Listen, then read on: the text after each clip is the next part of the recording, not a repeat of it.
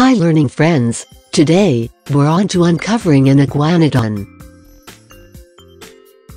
Iguanodon means iguana tooth.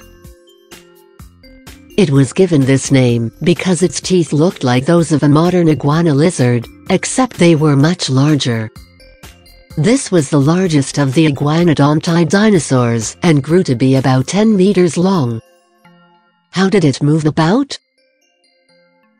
Scientists have studied many sets of footprints belonging to the iguanodon, and believe that it usually used all four feet to get around.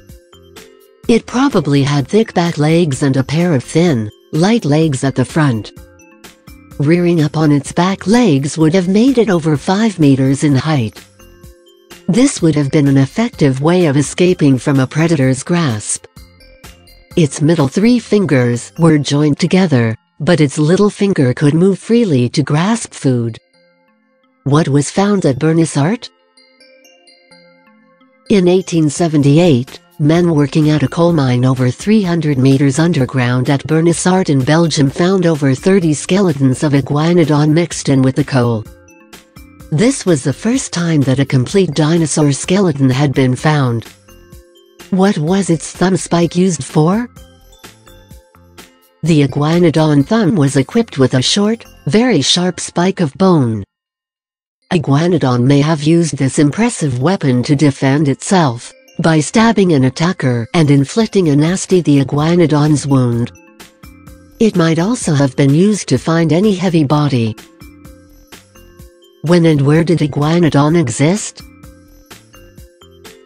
Iguanodon lived about 120 million years ago near the beginning of the Cretaceous period. They mainly lived in Western Europe and North America, but iguanodon fossils have also been found in parts of Asia and Britain, and it is known that very similar animals lived in Africa and Australia. Iguanodon was the very first dinosaur to be discovered. Some fossilized teeth were found in Sussex by Dr. Gideon Mantell in 1822.